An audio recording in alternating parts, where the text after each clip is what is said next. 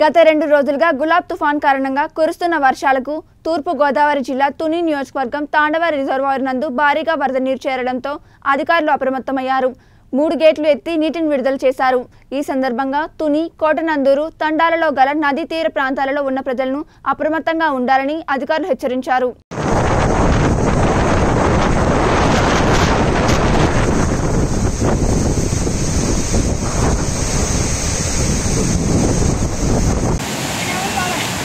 vamos lá.